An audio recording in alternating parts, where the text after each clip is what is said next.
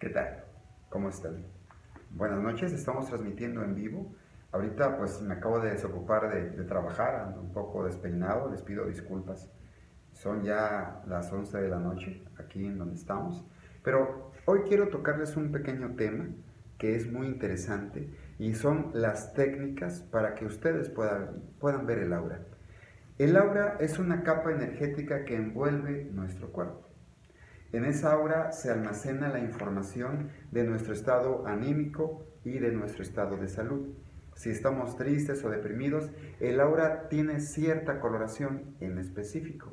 Si estamos enfermos, también. Por ello es muy importante poder intuir y poder conocer el aura. Para que ustedes puedan ver el aura necesitan desarrollar dos puntos importantes. Uno es la clarividencia, es decir, tener la capacidad de ver cosas más allá de lo material o cosas que no ven las demás personas. Número dos, intuición. La intuición es una herramienta necesaria para poder interpretar los colores del aura. La intuición es esa emoción, ese sentimiento que uno siente al ver algo.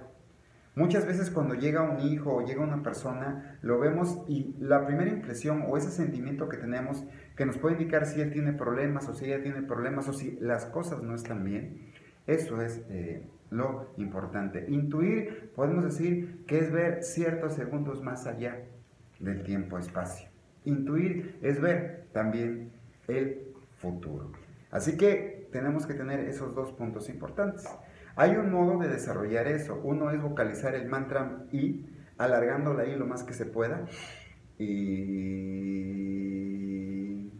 para activar la intuición requerimos trabajar el mantra OM, alargándolo lo más rápido posible.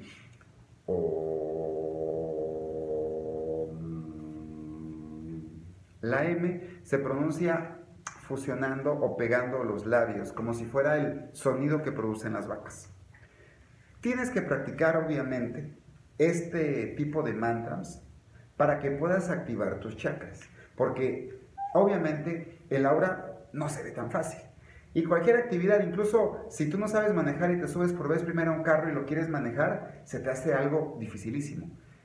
Que mucha gente que ya sabe manejar te ve y dice, oye, pero eso es bien fácil te ahogas en un vaso de agua. Bueno, porque el que ya sabe manejar ya pasó por todo eso, ya tiene la práctica. Lo mismo pasa con los sentidos.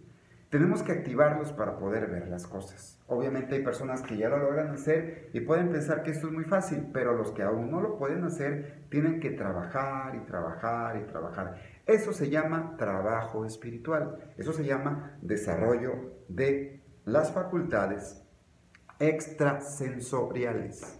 Y si tú, tú que estás viendo mi canal, tú que me sintonizas todos los días, quieres desarrollar esa capacidad, tienes que activar esos chakras, de lo contrario, no lo puedes hacer.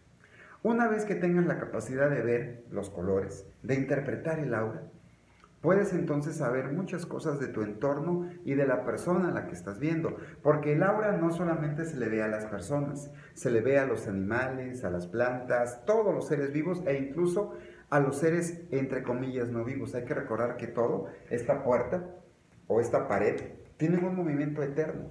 Los átomos, protones y electrones se mueven a velocidades sorprendentes, más rápido que la luz incluso, y esto produce la forma.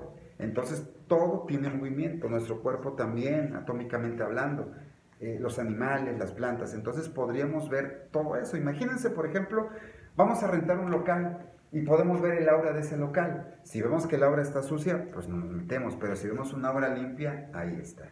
Yo los invito a que ahorita practiquen ese mantra para que empiecen a desarrollar esas actividades o esas facultades extrasensoriales. Y más adelante vamos a hablar de qué significa cada color.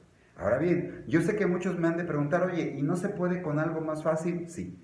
Haciendo una inversión bastante grande, pueden ustedes adquirir un equipo que se llama cámara Kirlian. Por lo regular es un equipo que vale aproximadamente de entre 4 a 10 mil dólares, dependiendo la capacidad del equipo, ¿sí? Pero, pues eso es una inversión económica y con eso ustedes pueden entonces fotografiar y pueden verle el aura a las cosas. Entonces, son esas dos formas. Yo recomiendo la de trabajo interior profundo, que es realmente la mejor.